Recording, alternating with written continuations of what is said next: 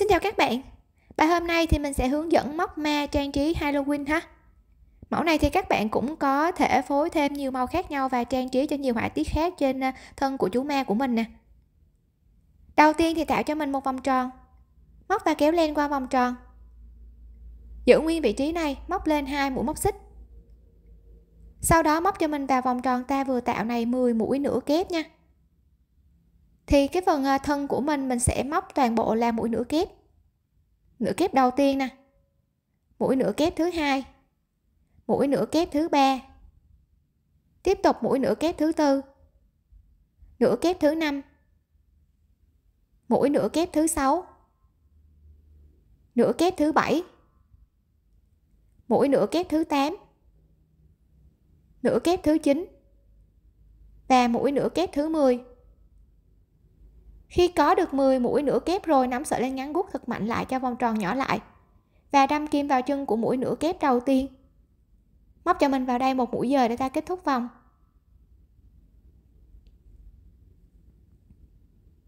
Từ đây móc lên hai mũi móc xích. Kéo thật mạnh lại thì vòng tròn của mình nó sẽ khít lại ha.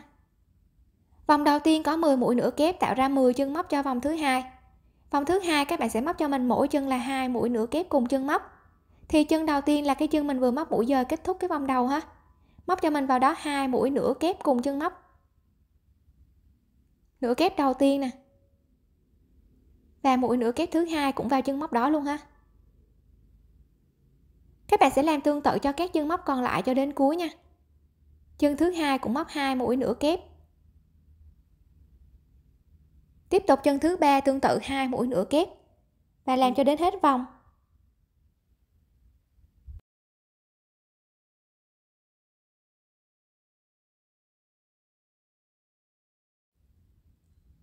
Chân thứ 10 cũng móc hai mũi nửa kép nè.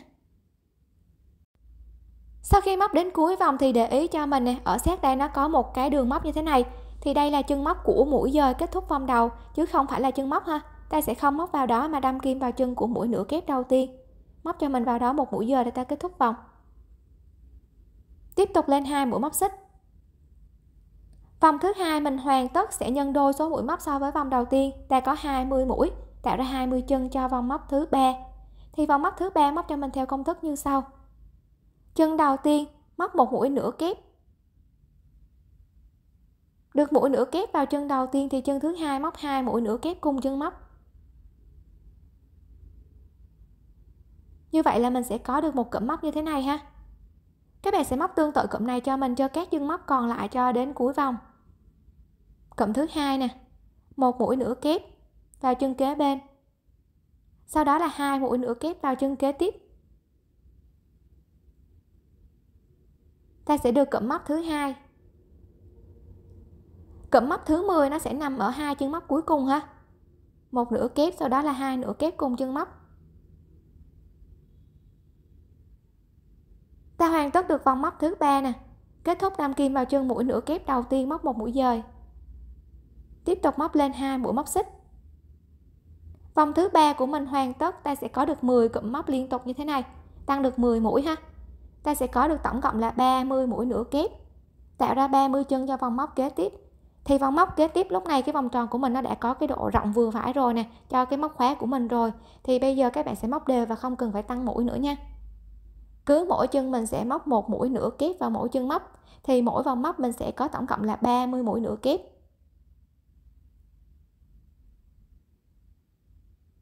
Móc cho mình hàng thứ tư cho đến hàng thứ bảy nha, đều nhau.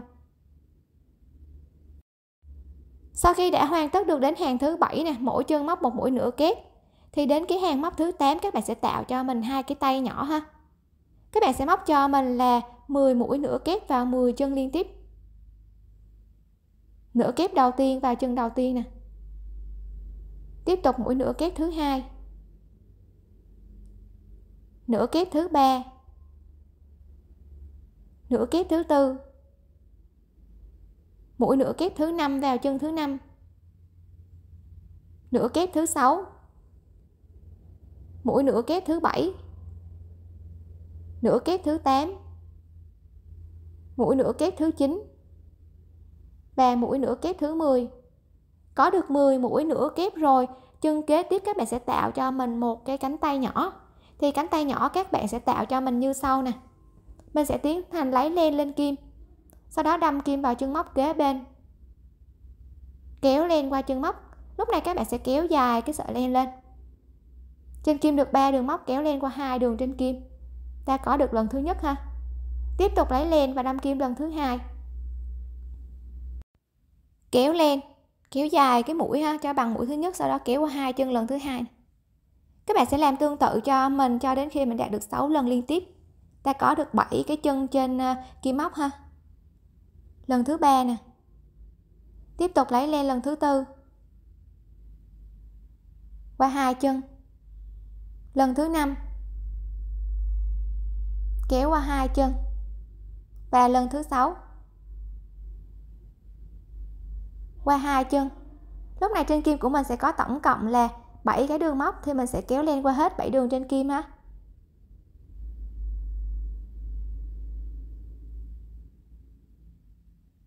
Khóa mũi nè, móc lên cho mình một mũi móc xích. Móc sát lại nha. Đẩy cho mình cái thân trong ra ngoài thì cái phần tay của mình nó sẽ nổi ra bên ngoài. Tiếp tục, các bạn sẽ móc cho mình 6 mũi nửa kép vào 6 chân. Thì chân đầu tiên nè các bạn đẩy cho mình cái tay mà mình vừa tạo nó sẽ thấy được cái chân đầu tiên của cái phần tiếp theo này ha. Móc cho mình mũi nửa kép đầu tiên nè. Tiếp tục nửa kép thứ hai. Nửa kép thứ ba vào chân thứ ba. Nửa kép thứ tư. Nửa kép thứ năm. Và mũi nửa kép thứ sáu được 6 mũi rồi tạo khoảng cách cho hai tay rồi nè. Thì cái chân kế tiếp mình sẽ móc tiếp một cái tay tương tự như cái tay mà mình vừa móc ha. Cũng lấy lên và lần lượt đâm kim vào chân móc kế bên 6 lần liên tiếp. Mỗi lần kéo lên thì nhớ kéo dài cái sợi len cho cái mũi móc của mình nó ngang bằng nhau ha.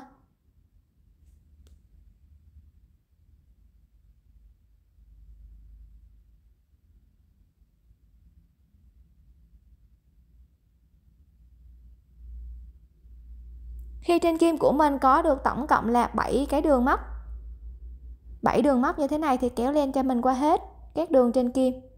Các bạn kéo chặt tay lại sau đó lên một xích để khóa mũi ha. Và còn lại là 12 cái chân móc thì mỗi chân móc cho mình một mũi nửa kép vào mỗi chân móc. Các bạn sẽ móc cho mình cho đến hết hàng.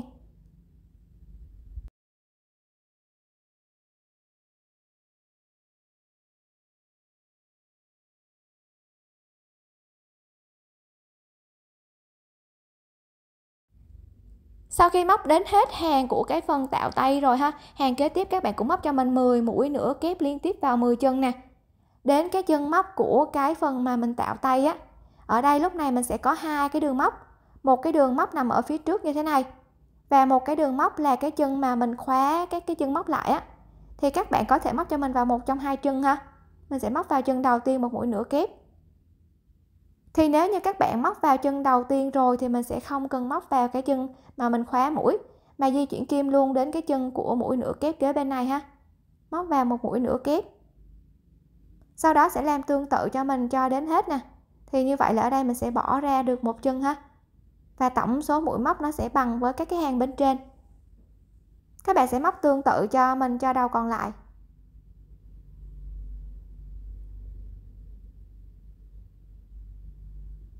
Đây, đến đây cái phần tay của mình nó có hai cái đường móc nè. Một đường phía trước và một đường mà mình chụm mũi. Thì mình đâm kim vào đường phía trước, móc mũi nửa kép. Nếu mà đâm kim vào đường phía trước thì không cần phải đâm kim vào cái chân chụm ha. Móc tương tự cho mình cho đến hết. Sau đó sẽ móc thêm cho mình hai hàng móc đều nhau không tăng mũi. Lúc này cái số mũi móc nó sẽ bằng với các cái hàng bên trên là 30 mũi nửa kép ha sau khi đã hoàn tất được chiều cao của phần thân rồi, bây giờ mình sẽ móc cái phần xòe ở bên dưới. Các bạn móc cho mình vào chân đầu tiên, một mũi móc đơn. Lúc này mình chỉ gây nên một xích thôi ha. Sau đó móc vào chân đầu tiên một mũi móc đơn nè. Từ đây bỏ qua cho mình một chân móc kế bên, móc vào chân móc kế tiếp 7 mũi kép đơn vào cùng chân móc. Kép đơn đầu tiên. Kép đơn thứ hai. Kép đơn thứ ba kép đơn thứ tư. Mũi kép đơn thứ năm. Kép đơn thứ sáu. Và mũi kép đơn thứ bảy. Khi có được 7 mũi kép đơn vào cái chân móc này rồi, thì khác với cái điểm mà mình bắt đầu, mình bỏ qua một chân móc, thì cái điểm mà mình kết thúc của họa tiết mình sẽ bỏ qua hai chân móc ha. Các bạn bỏ cho mình hai chân móc. Và đâm kim vào chân thứ ba móc một mũi móc đơn ta sẽ có được họa tiết đầu tiên. Tiếp tục họa tiết thứ hai cũng tương tự. Khi bắt đầu á, thì mình sẽ bỏ qua một chân móc. Móc vào chân thứ hai 7 mũi kép đơn. Một. Hai. Ba. Bốn. Năm. Sáu và 7 sau đó kết thúc thì khác với cái điểm bắt đầu. Điểm kết thúc thì bỏ qua hai chân móc móc vào chân thứ ba một mũi móc đơn và làm tương tự cho mình cho đến hết. Sau khi hoàn tất đến hết thì còn dư lại hai chân móc, nó cũng là hai chân mà mình bỏ qua cuối cùng. Sau đó đâm kim vào chân của mũi móc đơn mà ta bắt đầu móc, một mũi dời. Kéo dài sợi len và cắt len. Đâm kim từ dưới lên trên vào chân móc mình vừa móc mũi dời kết thúc kéo cái sợi len thừa ra phía sau và giấu cho mình sợi len thừa vào trong mũi móc. Các bạn có thể cắt cho mình một đoạn len vừa đủ dài và dùng kim khâu để giấu len cũng được ha. Hoặc là cắt ngắn đoạn len thì sử dụng cái đầu nhỏ của kim á. Mình sẽ giấu cái sợi len này vào trong các cái đường móc như thế này.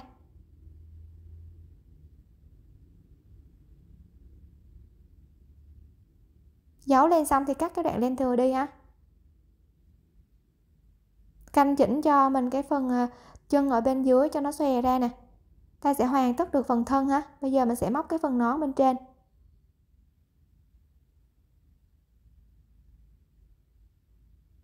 Phần nón thì tạo cho mình một vòng tròn, móc và kéo lên qua vòng tròn. Từ đây móc lên một mũi móc xích. Móc vào vòng tròn ta vừa tạo 6 mũi móc đơn. Móc đơn đầu tiên. Móc đơn thứ hai.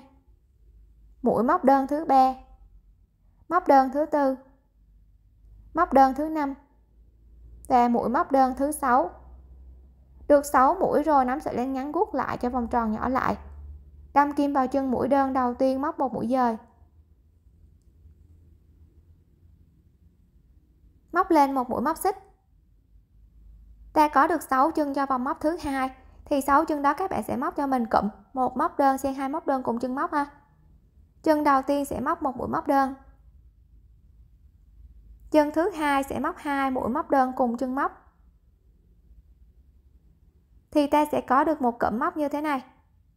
Các bạn móc tương tự cho mình, cho các chân còn lại cho đến hết thì mình sẽ có tổng cộng là ba cái cụm móc như thế này ha. Tăng lên được 3 mũi cho cái hàng móc thứ hai này.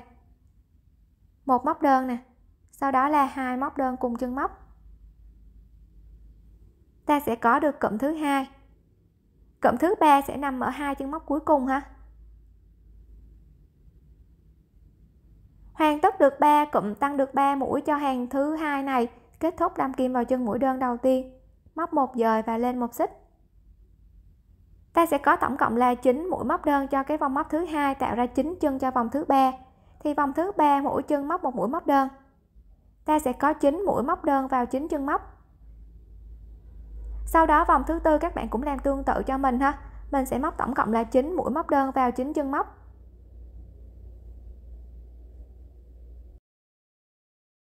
Sau khi hoàn tất được đến hàng thứ tư, thì đến hàng thứ năm mình sẽ tiếp tục tăng mũi.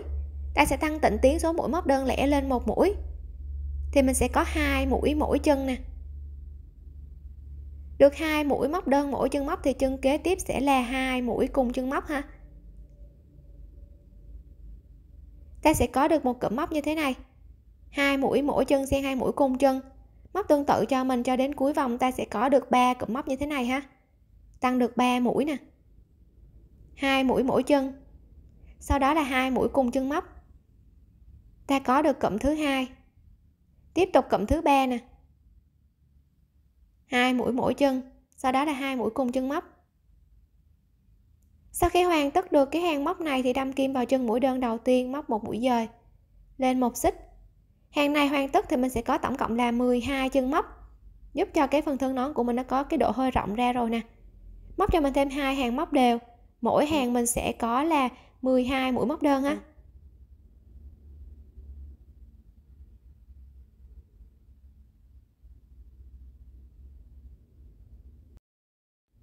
khi hoàn tất được đến hàng thứ bảy ta có được độ cao của phần thân nón rồi. Bây giờ mình sẽ móc cái bèo nón. Kết thúc cái vòng móc thứ bảy này mình tiếp tục móc lên thêm một mũi nữa. Tức ta sẽ có hai mũi móc xích ở điểm này ha sau đó để ý cho mình ở mỗi chân móc, ta sẽ có hai đường móc. Một đường nằm ở bên trong và một đường nằm ở bên ngoài. Thì tất cả các cái mũi móc của cái hàng móc bèo này nè, mình sẽ đâm kim vào cái đường bên ngoài ha. Thì móc cho mình vào cái chân đầu tiên, đâm kim vào đường bên ngoài, móc 3 mũi kép đơn vào cùng một cái đường móc ha. Sau đó tiếp tục chân kế bên cũng làm tương tự, móc 3 mũi kép đơn vào cùng một chân móc. Các bạn sẽ làm tương tự cho các chân móc còn lại cho đến chân móc cuối cùng. Sau đó kết thúc đâm kim vào chân mũi đơn, kép đơn đầu tiên ha, móc một mũi dời và lên một mũi móc xích. Cắt len. Giấu cho mình sợi len thừa vào trong các cái mũi móc. Sau đó nhồi cho mình một ít gòn vào bên trong thân nón. Chích cho mình một ít keo nến hoặc là mình cũng có thể khâu ha, ở xung quanh cái phần này. Sau đó mình đính lên trên đầu của me nè tiếp tục mình sẽ trang trí hai mắt cũng như là miệng cho phần thân của mình ha. Bây giờ mình sẽ làm cái cây lưỡi liềm ở đây. Các bạn sử dụng cho mình kẽm lá mình sẽ chập đôi cái kẽm lá này lại. Sử dụng kềm ha. Các bạn chọn cho mình cắt cho mình à, một đoạn vừa đủ để mình đeo vào thôi. Đây một đoạn vừa đủ như thế này. Sau đó cái đầu mà mình gấp á, sử dụng kềm và các bạn bóp thật chặt lại. Cho cái phần này của mình nó nhỏ lại ha nhỏ sát lại luôn nè. Khi đã có được ờ, một cái đầu ờ, kẽm như thế này rồi nè, giúp cho mình một ít keo vào bên trên này. Sau đó mình sẽ đưa cái sợi len dính vào trong cái phần keo đó ha. Và từ đây các bạn sẽ quấn cho mình, quấn sát cái phần góc này luôn. Các bạn quấn cho mình cho đến khi mình đạt được cái chiều dài của cái phân cán này ha sau đó đến cuối thì mình cũng chích ít keo ở đây. Đến cố định lại. Ta sẽ có được một cái cây như thế này. Bây giờ mình sẽ móc cái phần lưỡi nè. Tạo cho mình một nút. Kéo sợi len dài ha.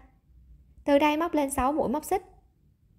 1 2 3 4 5 và 6 được 6 mũi móc xích rồi, móc lên một mũi móc xích. Chân thứ sáu móc cho mình một mũi dời.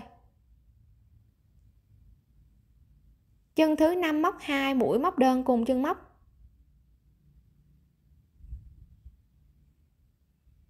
Chân móc thứ tư và chân móc thứ ba móc cho mình mỗi chân là một mũi nửa kép.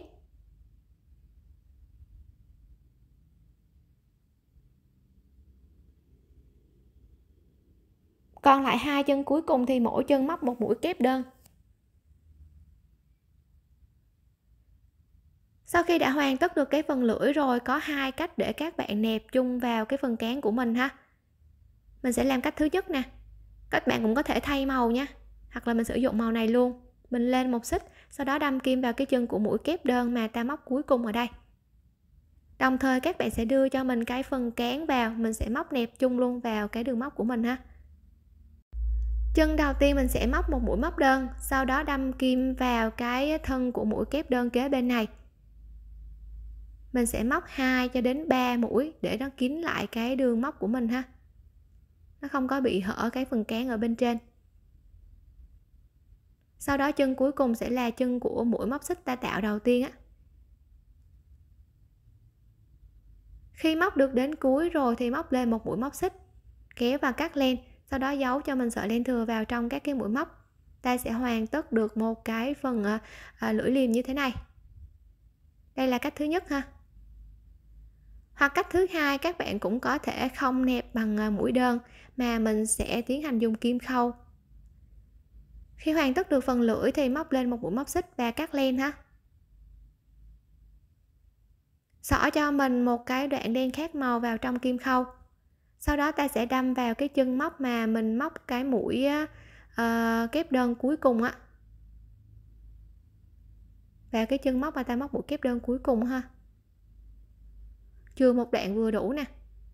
Sau đó mình sẽ đưa hết tất cả các cái sợi len thừa nằm chồng lên nhau và mình đưa luôn cái phần cán vào. Mình sẽ khâu quấn lại ha. Chân đầu tiên mình sẽ khâu hai lần liên tiếp nè. Mỗi lần đâm kim thì cứ siết cho mình à, cho cái đường khâu của mình nó khít lại ha.